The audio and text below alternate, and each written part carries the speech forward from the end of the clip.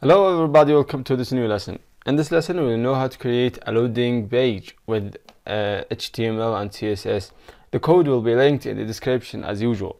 So if you haven't subscribed yet, you could subscribe now and you could like the video if you like it. So let's go to the coding and see what we have. First I will create an empty HTML file. I will see new and HTML. I'll call it loading 18 okay then over here I'll create two divs the first div I will give it a class center which will control the center of this uh, content. The second div I'll give it class loading. Loading great. Now I will create another empty uh, another empty file which would be style sheet. I'll call it style. And let's link those files together. I'll come here and I'll say link. Link. And I will say href is style uh, style. Then the relation is style sheet. The type is css and text css great now they are linked together.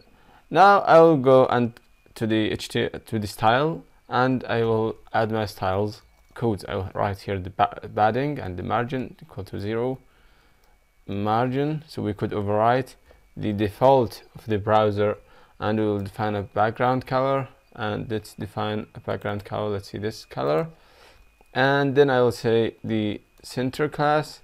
This class we need it to be uh, the display is flex. Okay. And the position is absolute. Mm, let's see. We need it to be in the middle. So I will say from top we need it to be 50 percent. And from left also to be in the middle 50 percent too and then I will say transform translate and let's see negative negative 50 percent comma negative negative 50 percent. Too great. Now the content would be in the middle. I need now to create the circles we have. I'll say loading and over here I'll create the loading uh, I mean properties. I'll see the width to be for example 200 pixel the height would be also 200 pixel. The uh, let's see the border we need it to be 5 pixel. Slide and let's choose a color. Let's see that color and we will change it now to be lighter. So I will say I mean to be darker a little bit. Okay now this is the first element we have created. I need to add also the border radius so that it could look like circle we will say 50 percent. And I'll add the border from bottom for example.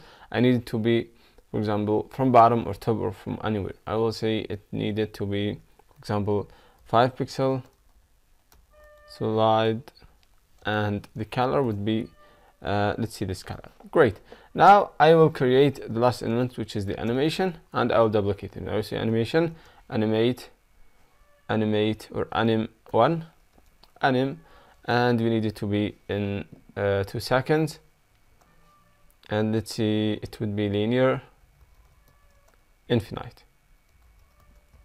Okay now we will duplicate these elements for uh, three uh, three times or let's see uh, two times. The first one we'll see here content which would be here I mean the before element you see here before and the content is over there. We need it here to be the position.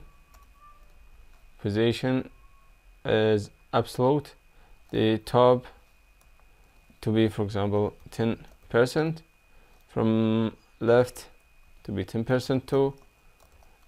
The also the right and the bottom to be 10 percent.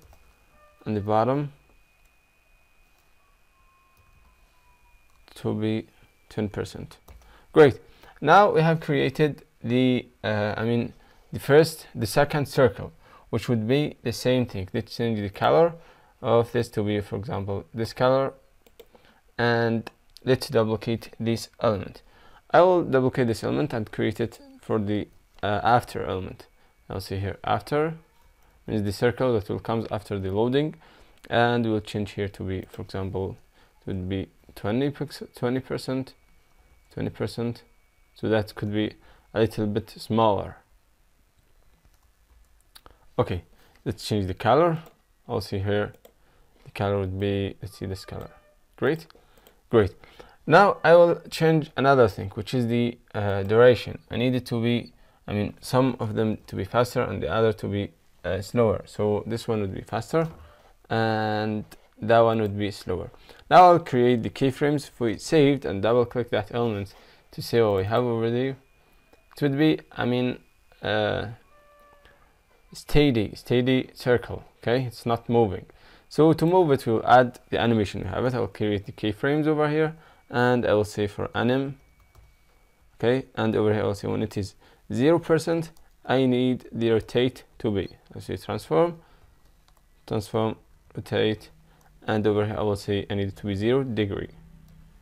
Okay then when it arrives to 100 I need to be one circle I will say 360 degree great? So it will loop one loop okay? One loop. And because some of the circles are large and the other is small it will differ in the uh, I mean in the speed. So this was the lesson. Thanks for listening and watching and see you again bye for now